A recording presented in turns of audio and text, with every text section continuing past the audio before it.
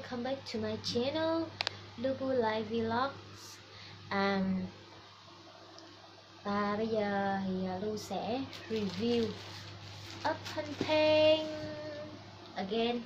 Um, Bây giờ Lu sẽ mở cái à, hàng mình mặc à, mình đặt online các bạn. Để xem cái nào với cái nào. Đây mình bữa nay mình sẽ có hai bao như thế này ha.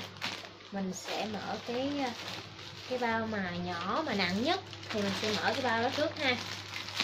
Ok đây. Người ta dán đây. Giao hàng tiết kiệm store. Ừ, không biết là cái này cái gì nữa. Ok bây giờ mình mở ra cái này.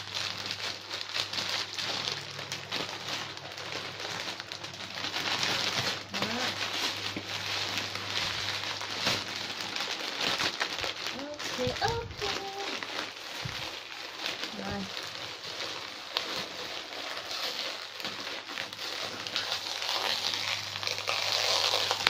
Rất là nặng ok.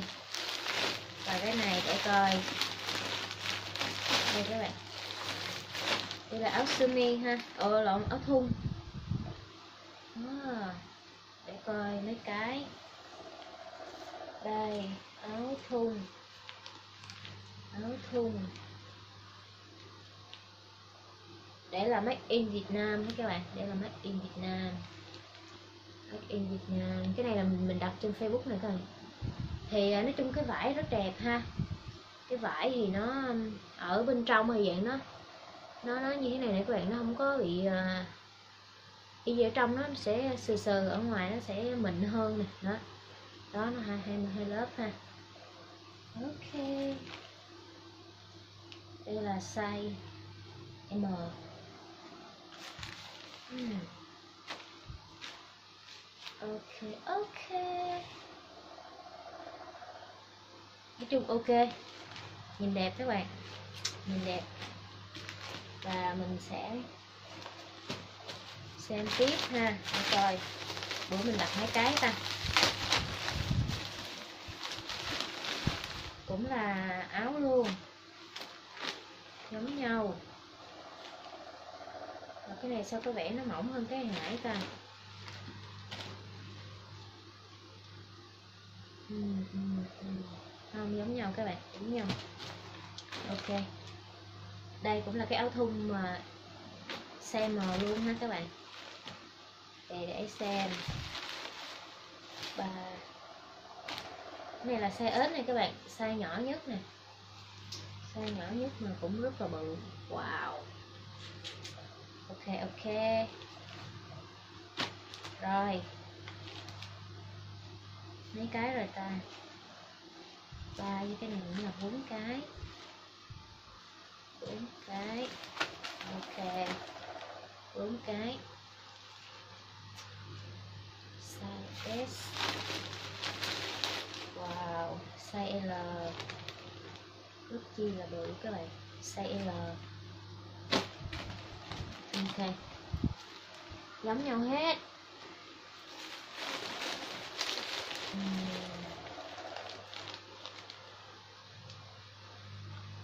Size XL ok các bạn. Ừ. thì nói chung là mình vừa cái khui khui cái bịch hàng này bây giờ mình phải bỏ lại vào đây, bỏ lại vô cái bịch này.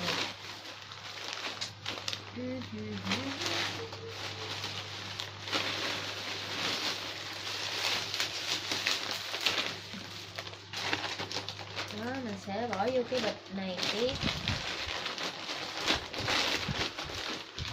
hmm. hai một hai ba bốn năm sáu bảy tám ok mình bỏ vô cái bịch mình cất nha các bạn. Cất rồi về, về biển mặt thì lôi ra mặt nói rồi bây giờ mình sẽ mở tiếp một cái bịch thứ hai nữa các bạn. Và cái bịch thứ hai mình nghĩ cũng là cái ờ, ok và mình sẽ mở bịch thứ hai nhé.